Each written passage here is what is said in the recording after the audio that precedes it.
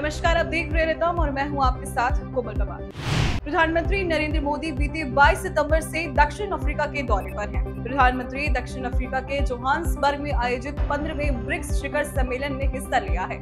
इसी क्रम में प्रधानमंत्री मोदी आज, यानी 24 अगस्त को अफ्रीकी देशों के एक विशेष बैठक में शिरकत करेंगे।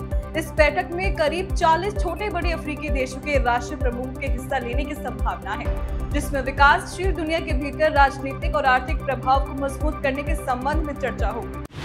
राष्ट्रपति द्रौपदी मुर्मू के गोवा दौरे का आज आखिरी दिन है। बीते 22 अगस्त से राष्ट्रपति गोवा में है।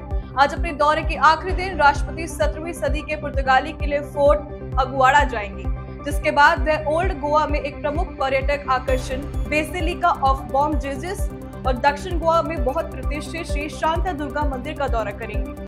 भारत इस बार जी ट्वेंटी की अध्यक्षता कर रहा है। इसके तहत व्यापार और निवेश के लिए मंत्रालय स्तर की बैठक राजधानी जयपुर में आज, यानी 24 अगस्त से शुरू होगी और 25 अगस्त तक चलेगी। जिसमें कई देशों के मेहमान और विश्व व्यापार संगठन जैसे प्रमुख वैश्विक संगठनों के प्रतिनिधि शामिल होंगे। इस बैठक में ट्रेड इन्वेस्टमेंट ग्रुप और ट्रेड इन्वेस्टमेंट मंत्रालय स्तर के मेहमान भी शामिल होंगे, जो वैश्विक व्यापार से जुड़े मुद्दों पर चर्चा करेंगे।